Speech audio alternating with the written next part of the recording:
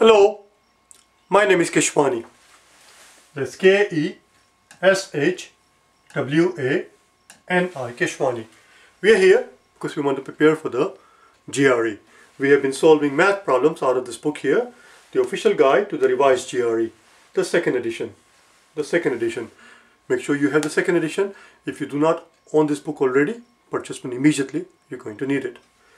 Today we'll pick up from where we have left off long time ago. The very last lesson that we had, day number 374, was almost three years ago. I've been meaning to finish this project for the longest time. The last video I made was day number 374, which was on October 1st of 2013. And today as I speak, it happens to be the July 4th of 2016 and I'm going to I'm going to pick up from where we left off, day number 374. Today is our day number lesson number 375, and we're going to pick up from data analysis that you see on page number 263. The very last problem that we did was the geometry problem that you see on the opposite page on page number 262, problem number 14 dealing with the rectangular box. So pick up, let's pick up from data analysis and the idea is to go through every single page, page by page, doing every single problem until we reach the exercises and then we finish, then we'll finish up the exercises.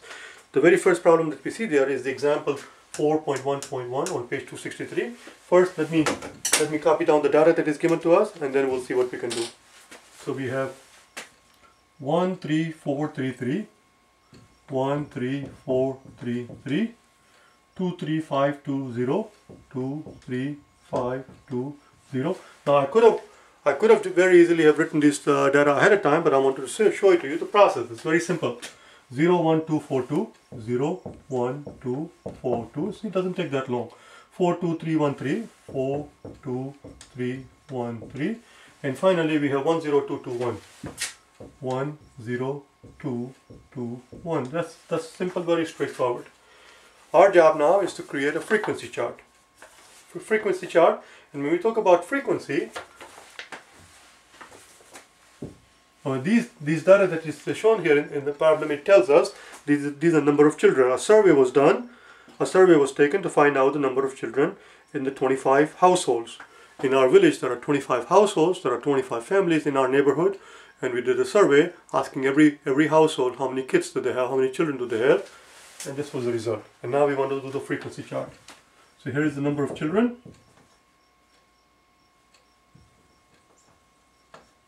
which of course is going to go from 0, 1, 2, 3, 4 and where you start depends on the highest number that you see here. Highest number I see is 5. So 5 is where we're going to stop and here are the frequencies. How frequently how frequently something appears, how often something appears.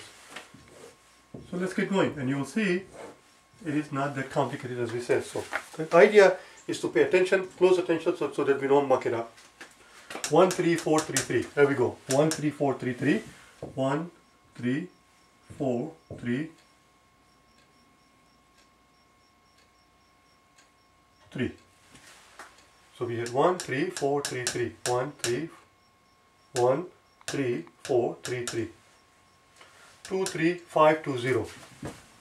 2, 3, 5, 2, 0. 0, 1, 2, 4, 2. 0, 1, 2, 4, 2. 4, 2, 3, 1, 3. 4, 4, 4, 2, 3, 1, 3. 4, 2, 3, 1, 3. And finally 1, 0, 2, 2, 1. 1 or other. 1, 0, 2, 2, 1. That's it, we're done. There's your frequency, frequency distribution. Now we have to find out the relative frequency. Now we have to figure out the relative frequency. So I'm going to abbreviate the frequency as, as is usually done. The frequency is usually abbreviated as FREQ. That's what I just did here. FREQ. That's your frequency. Now, let's do the relative frequency.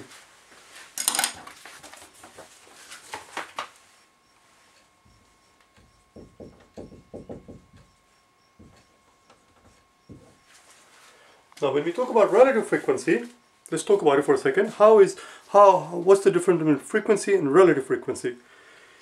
Frequency simply tells us how many times something happens. How many times something happens. Relative frequency tells us how often it is, how common it is compared to the total number of observation. One more time. Relative frequency is going to tell us, let's put it, let's put it here on the side.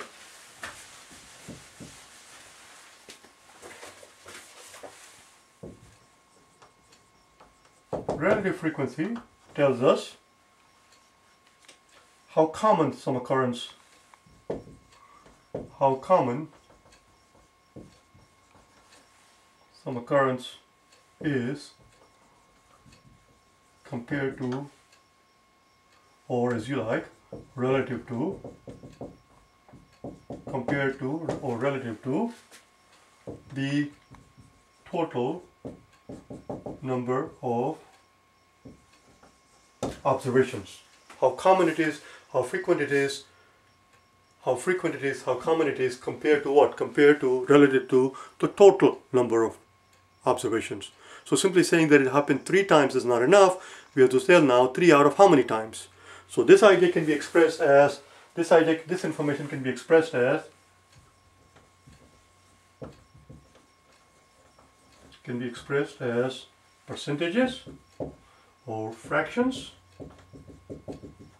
or decimals. For example, so the question here is how how how common is it? How how frequently does it appear? We can say it appears as a percentage. We can say it appears 4% of the time. Or we can say it appears 4 out of every, every 100 observations. Or we can express this in decimal like this. And all of these three are completely acceptable way, equally acceptable way of expressing the idea of relative frequencies. Do you understand? Here we can express that as percentages. Here you can express this as percentages. But in order to figure out the percentage, for example, this guy there, is, there, are, there are three families who have no children. Well, well, three families who have no children, but three out of how many families? Well, we know that it tells us that we have 25 families. 5, 5, 5, there are 25 families, which makes our math very simple, because 25 families, 3 out of 25, 3 out of 25, the relative frequency here is 3 out of 25, but 3 out of 25, if you were to multiply top and bottom by 4, if you were to multiply top and bottom by 4, we'll end up with 12 out of 100.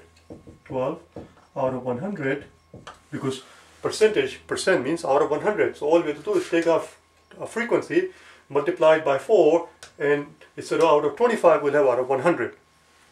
So here we have 3, which translates to 12%, which translates to 12%. And that's it, we're done. This is going to be 12%.